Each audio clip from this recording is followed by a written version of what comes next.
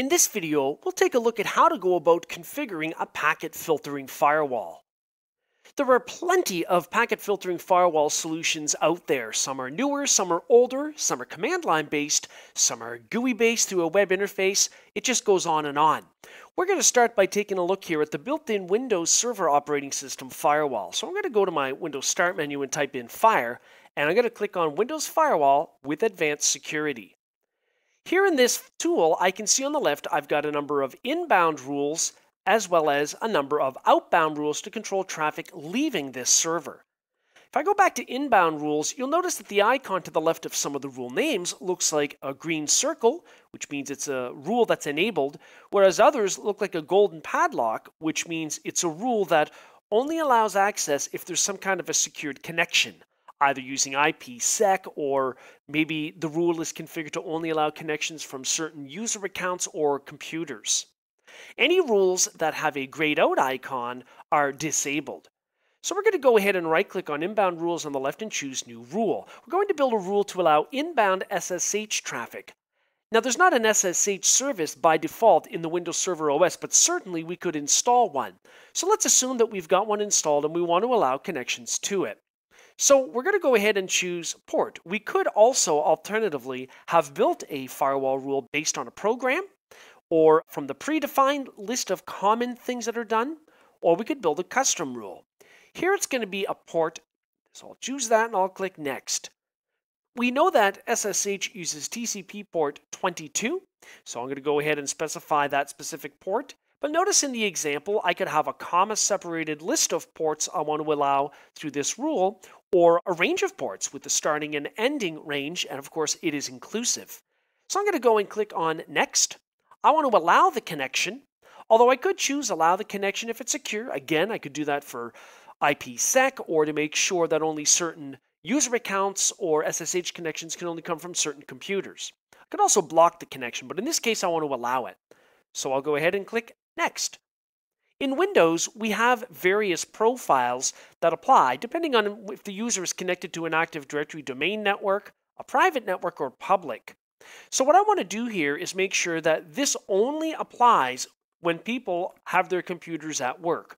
Or in this case, where it's a server, it would never be on a different network like at Starbucks or on a home private network. So I'll go ahead and click Next. I'm going to call this Allow Inbound SSH, and I'll go ahead and click Finish.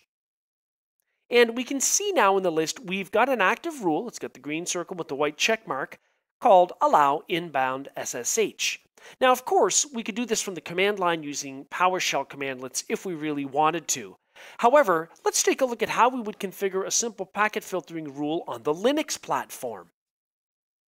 Most Linux distributions support the old iptables command as a way of configuring packet filtering firewall rules, although there are other options including graphical ways of configuring tools. Here we're going to type iptables dash uppercase L for list. Here we can see that our input chain has a policy of accept, so it's going to accept everything from anywhere going to anywhere on this host.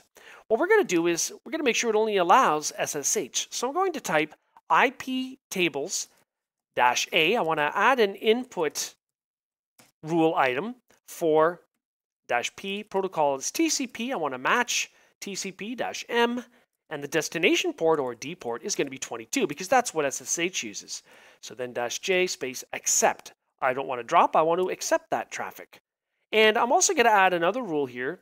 So iptables dash capital A in the input chain dash J, drop. Basically, all I want to allow is inbound SSH and drop everything else.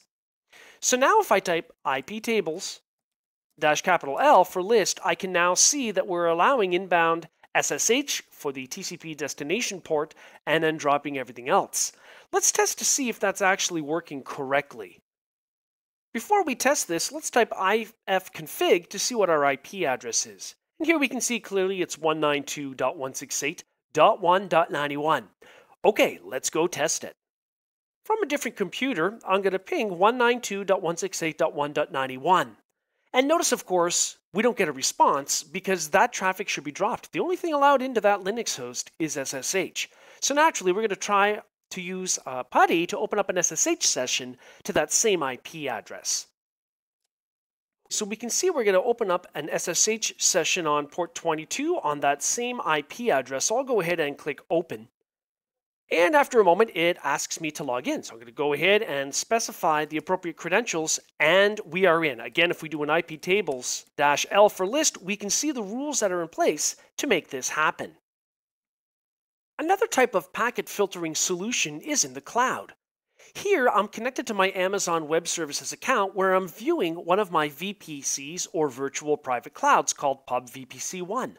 A VPC is just a network that you've defined in the cloud. But what's interesting is that you can define a network ACL or access control list for each VPC in the Amazon Web Services cloud.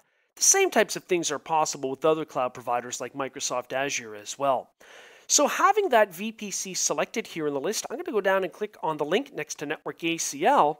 That's going to open up another window where we can actually start to work with the packet filtering rules for this network, which actually exists in the cloud. Having my network ACL selected down below, I can see the Inbound Rules tab, where we have a list of inbound rules, which in this case is allowing traffic from anywhere into the network. In the same way, we've got outbound rules to control traffic leaving this cloud network. So I'm going to go back to the Inbound Rules tab and click the Edit button. What we want to do here is change our first rule to allow not all traffic, but in our example, only SSH port 22 traffic. And I'll leave the source as 0.0.0.0 slash 0, which means from anywhere. We don't want this second custom rule being built here, so I'll click the X to remove that, and I'll click Save. Now, after a moment, that network ACL for that cloud virtual network is now saved, and we can see down below that we are allowing inbound SSH traffic but blocking everything else because the second rule is a deny rule. In this video, we learned various ways to configure packet filtering firewalls.